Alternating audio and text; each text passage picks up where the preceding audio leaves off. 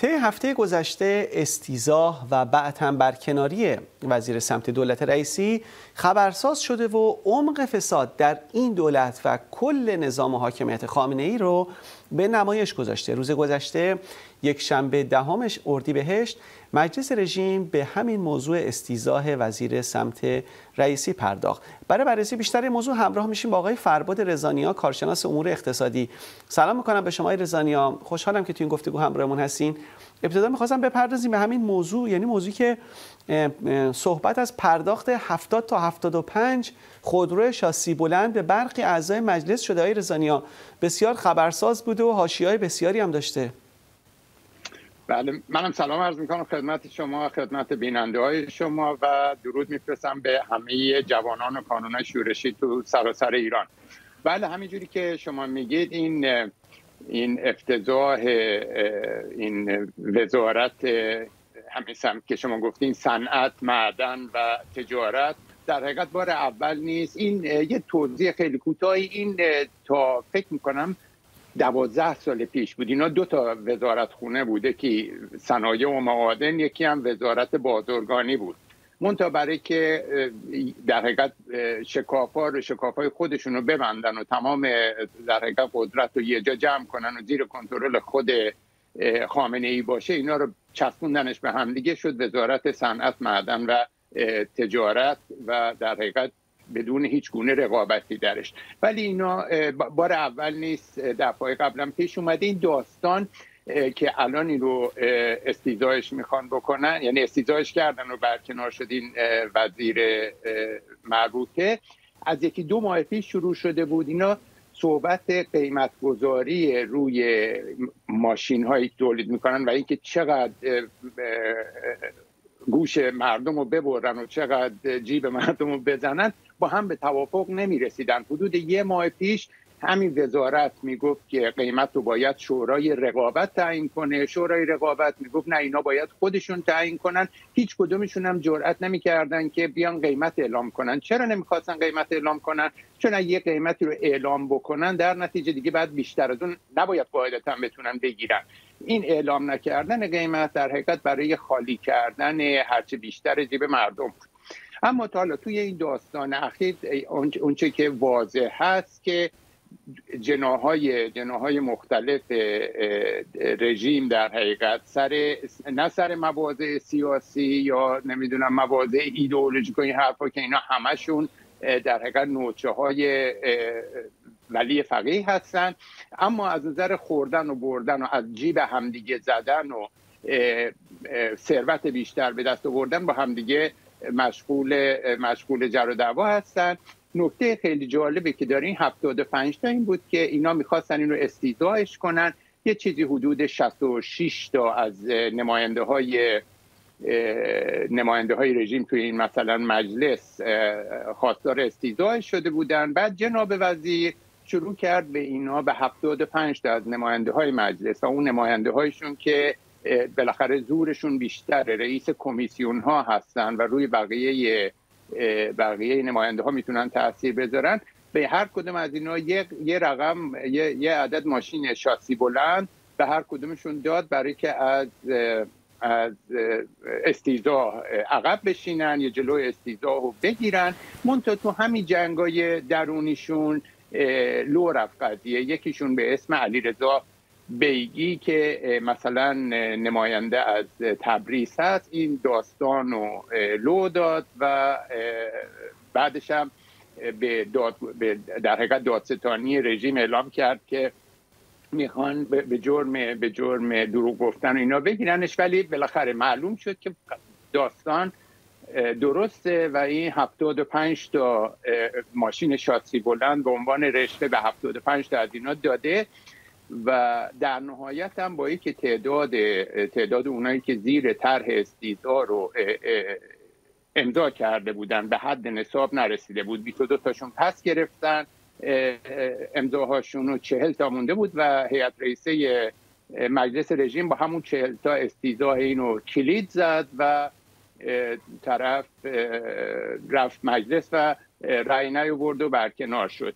توی جریان برکنارشون اینا اینا همش حواسشون هست که به همدیگه بپرن ولی ولی خط قرمزای ولی فقیه رو رعایت کنن در حقیقت خیمه شب بازی خیمه شب بازی آخوندی یه مقدارش دیگه تو اتفاقایی تو مجلسشون افتاد. حالا رزانی همین دیروز مشخصا موضوع استیزاه این وزیر سند به کجا رسید و چی گذشت؟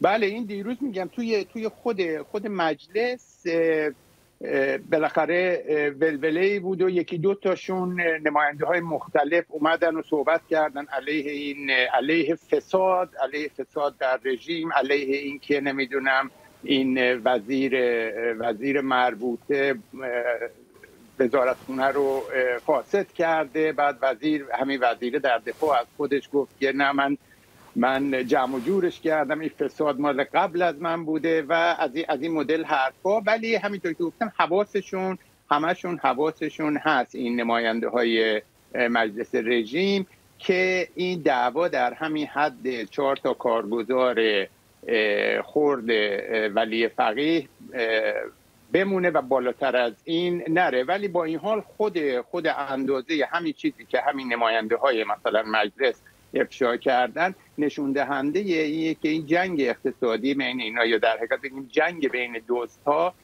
واقعیه نماینده قوم دلنوری نامی توی مجلس چیز که اعتراض کرده بود که نه تنها ماشین شاسی بلند به کسی ندادن بلکه حتی یه دوچرخه هم به کسی ندادن. بعد دیگه دید که خیلی سه میشه این مدارکش و اینا همه اومده بیرون. گفت اگرم به کسی ماشین دادن در رابطه با این استیزا نبوده در رابطه با یه چیز دیگه بوده. ولی کیهان کیهان شریعت مداری همون دیروز نوشت که این علیرضا بیگی که این قضیه رو قضیه ماشینا رو لو داده و بیرون اومده اینو باید دستگیرش کنن به جرم دروغ گفتن ماموران مسئولان قضایی و امنیتی باید اینو به جرم تشویش که تشویش افکار عمومی و اینا دستگیرش کنن. در کلیتش اما جنگ اینا در حقیقت شاید بشه اینجوری تقسیمش کرد که جنگ از یه طرف اونایی که توی باند خود رئیسی بودن چون رئیسی هم رفته بود مجلس در دفاع از در دفاع از این وزیرش هم حرف زد ولی کارساز نبود. هم جنوهای مختلفشون در حقیقت یه طرفشون میشه گفت که 75 تا ماشین ماشین شاسی بلند بهشون دادن یه جناهش و اونایی که نگرفتن احتمالا نزدیکی بهشون نرسیده تو این دعوا چیزی بهشون نماسیده اینا دنبال استیزا کردن و برکنار کردن طرف بودن. من فقط اینو هم اضافه کنم. اینجا که این بار یعنی این وزارت وزارت خونه ای که اینا درست کردن این بار اولم نیست. پارسال همین موقع یادتون باشه توی فولاد مبارکه. رقم رقم حیف و میل و رقم دزدی از اموال ملت اصلا نمی‌دونی چند تا صفر داشته. خود مجلس رژیم پارسال اعلام کرد که 91 هزار میلیارد تومن حیف و میل شده توی فولاد مبارکه. یعنی پولایی که این این چیزایی که تحت حالا میشه بعد بیشتر توضیح بدم در مورد بله. اینه که اینا همش تحت کنترل شخص خامنه ای و دوزی هم همه پولا یک طرف در حقیقت پولای یه طرفه میره. همش از بیت خود خامنه ای سر در میاره در نهایت. حالا رزانی همین فسادی که الان شما مثالای مختلفش رو برامون زدین هم از موضوع مجلس گفتین هم از مال پارسال رو گفتیم فولاد مبارکه. الان اگه دقت بکنیم تو همین شنبه که گذشت خامنه ای دیدار نمایشی داشت با کارگرا. توی اون دیدارش اشاره کرد که خلاصه این باید فرهنگ ثروت های بادآورده توی کشور متوقف بشه. چنین جمله رو خامنه ای مطرح کرد. می‌خواستم از شما بپرسم که هدف اون از اعتراف به فساد نهادینه شده توی رژیم چیه؟ اشاره هم کرد به صحبت خودش در رابطه با های فساد در کشور. بله. جالبه که حالا مثلا یه چهار تا رو برده نشونده اونده جلو از عوامل خودشون به عنوان به عنوان کارگر. اما این نکته هست که هنوز یه ما نگذشته. یعنی تصویب طرح تصویب اضافه حقوق کارگرها برای سال 1402 که رسید به یه چیزی دور نزدیک 6 میلیون. می‌خواستن 27 درصد اضافه کنن. دعوا سر این بود که حالا 20 درصد اضافه کنن یا 27 درصد اضافه کنن.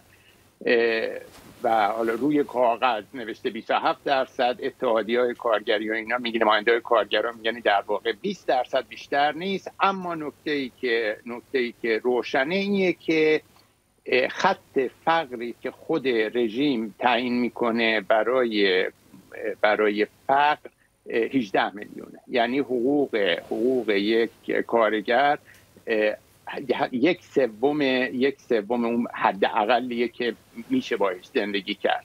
در نتیجه جلوی ادای از ادای ضد فساد و حرفای در مورد اجده های هفت سر فساد و این چیزا حرف زدن براش دو تا خاصیت داره. یه خاصیتش اینه که ادای این رو در بیاره که خودش اینا دست خودش نیست یا خودش جدای از این رژیم یا تقصیر دولت همین که میگی من گفتم 20 سال پیش من اینجوری اگه به حرفای من عمل کرده بودن اینجوری نمی‌شد در حالی که همه می‌دونن که وضعیت اقتصادی امنیتی تحصیلی همه چی تو کشور نتیجه عمل کرده عمل کردن به به دستورات ولی فقیه نه برعکسش.